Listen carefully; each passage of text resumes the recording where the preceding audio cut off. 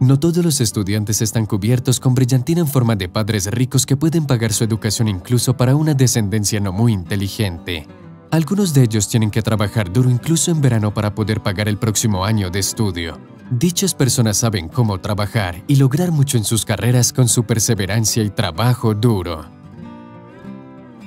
un estudiante de Homewood en Alabama, Estados Unidos, Walter Carr, después de finalizar el tercer año de la universidad, decidió que definitivamente necesitaba encontrar un trabajo para el verano. No fue inmediatamente, pero logró conseguir un trabajo como cargador en la empresa Bell Hubs, especializada en el transporte de cosas para mudanzas. El sábado se planificó el primer turno de trabajo para llevar a cabo un pedido. Lo más desagradable sucedió el día anterior. Su viejo Nissan Altima se descompuso. La primera orden de la mañana fue en Pelham, a la que era necesario conducir más de 30 kilómetros. El estudiante pidió prestado un auto a sus amigos, luego a su novia, pero cada uno tenía sus propios planes. Nadie ayudó a Walter. El chico miró el mapa y se dio cuenta de que si salía de la casa alrededor de la medianoche, a las 8 de la mañana vio una oportunidad real de llegar al lugar correcto y en algún lugar del camino para parar por comida. Decidió asegurarse de llegar a tiempo al lugar de trabajo. Durmió un par de horas antes de salir para recuperar fuerzas. A las 4 de la mañana el joven caminó alrededor de 24 kilómetros. Le dolían las piernas. A veces quería sentarse o mejor acostarse al costado del camino y no mover ni sus brazos piernas. También entendió que no tenía sentido regresar.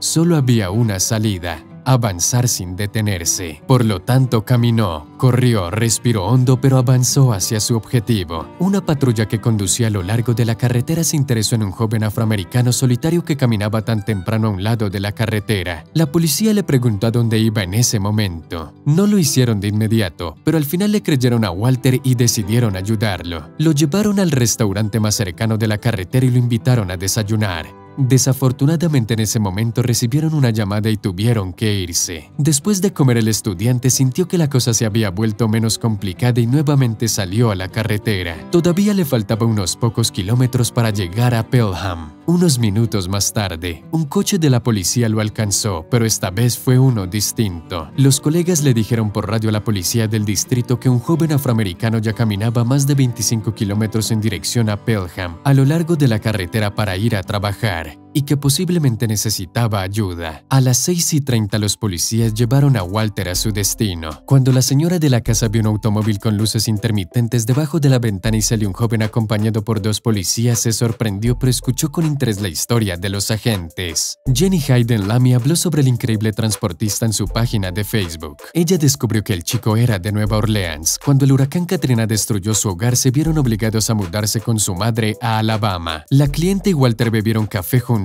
y ella lo invitó a descansar mientras llegaban los demás, pero inmediatamente comenzó a desmontar y mover los muebles. Lamy estaba sorprendido por el arduo trabajo del estudiante y sus serios planes para el futuro. La información de Jenny recibió muchos comentarios. Después de un tiempo el director general de Bellhops, Luke Marklin, se enteró de lo que hizo Walter. Estaba asombrado y encantado de cómo un nuevo empleado ordinario demostró las cualidades especiales de la cultura corporativa de la empresa, elevándola entre otras. Walter recibió una recomendación en el sitio web de la empresa y en la página personal de Twitter del director. Pero ese era solo el principio. Un artículo sobre el joven decidido se publicó en la página de la policía de Pelham, y el propietario de Bellhops decidió sorprenderlo personalmente conduciendo más de 400 kilómetros desde Tennessee en automóvil. El joven recibió una invitación del CEO para una reunión personal. Se acercó al edificio de oficinas. Inesperadamente el propio Marklin, un grupo de policías y periodistas con cámaras salieron a su encuentro. El director agradeció calurosamente a Walter por su acción que aumentó significativamente el ranking de toda la compañía. El director señaló además que a pesar de todo el trabajo duro y el respeto por la empresa, Walter todavía le falta algo.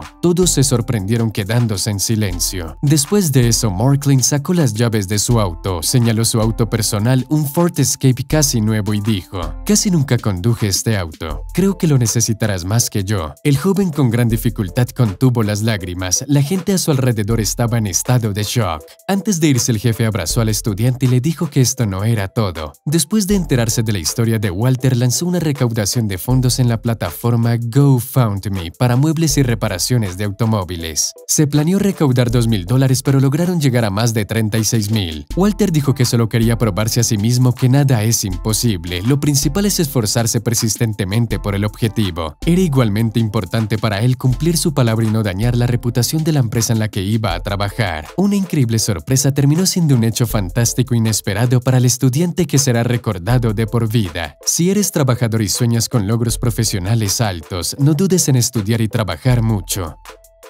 El boomerang de los esfuerzos realizados seguramente volverá con bonificaciones inesperadas de éxito en la vida. Y amigos, esto es todo. Compartan el video, escriban sus comentarios y hasta pronto.